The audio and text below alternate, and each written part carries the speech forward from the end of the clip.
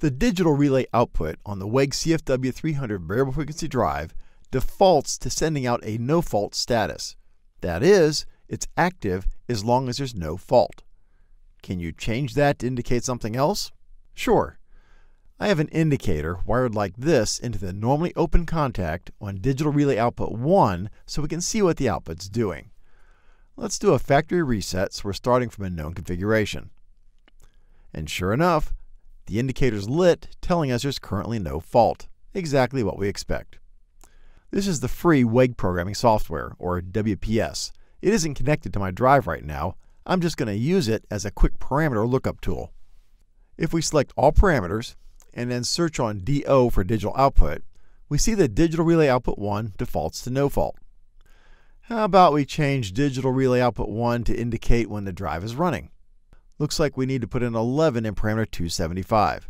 Again, this software isn't currently connected to the drive, so I'll go to the drive, scroll to parameter 275, and enter an 11. When I hit run, sure enough, our new run indicator lights up. Let's do another one. There are a couple frequency monitoring options. Let's have the light turn on when the output frequency reaches the requested reference frequency. F star is the requested reference frequency over here before ramps, limiting, etc. are applied. F is the final output frequency. Well, we want to know when the output frequency, F, reaches the requested reference frequency, F star. So we want number 4. So I'll go back to parameter 275 and change it to a 4. The acceleration ramp defaults to 5 seconds. That's 5 seconds to get to 60 Hertz. That's a good number for this demo, so we don't need to change that. Let's set the frequency we want to ramp to to 30 Hz. That's parameter 121 because we're using the keypad for frequency reference entry. So I'll change that to a 30 Hz. So we expect the drive to ramp up to 30 Hz over 2.5 seconds, and when it gets to 30 Hz, the indicator should turn on. Let's try it. If I hit run, 1 1000, 2 1000, bingo.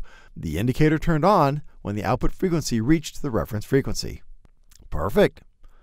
We can also have the digital relay output turn on when the frequency gets above some value we set, which WPS calls FX. If we search on FX, we see that we can set both the value and the hysteresis. Fx is the value or threshold we want to exceed. The hysteresis says you must exceed the value by this much for the light to turn on, and this much for it to turn back off again. That way, if your frequency output is bobbling around a little bit due to load changes, it won't keep tripping the indicator. Let's try that. Let's go to parameter 281 and set the frequency we want to exceed at 15 Hz. And we'll leave the hysteresis at half a Hertz. Okay, go back to parameter 275 and tell the digital relay output to go active when the output frequency is greater than or equal to the 15 Hz we just set. And let's go back to parameter 121 and set our keypad reference frequency to start at 3 Hz. So we expect to see the light turn on when we hit 15.5 Hz and turn off when it falls below 14.5 Hz. Let's try it. If I hit run and scroll down to the frequency display parameter, we see that the drive's running at the 3 Hz we entered. I'll scroll to 15.5 Hz, and sure enough, the light turns on. Now I'll scroll down to 14.5 Hz, and the light turns off. Exactly what we expect. Perfect. There are lots of different things the digital relay outputs can be used for. Is the reference frequency above the threshold? Is the output frequency above or below a threshold? Is the reference frequency equal to the output frequency? And you can do similar things with current and torque. You can indicate if the drive's in remote mode, if it's running, if there's faults, etc. This drive gives you lots of options, so use them to your advantage. So after the factory reset, all we really did was tell the digital output what we wanted it to do. And for some of the functions, we needed to provide a frequency level to compare against, and we found that we could even use hysteresis if we wanted to. And while we didn't do it in this video, there are similar comparison levels for the current and torque monitoring functions. And of course, we also entered and viewed the reference frequencies using these guys.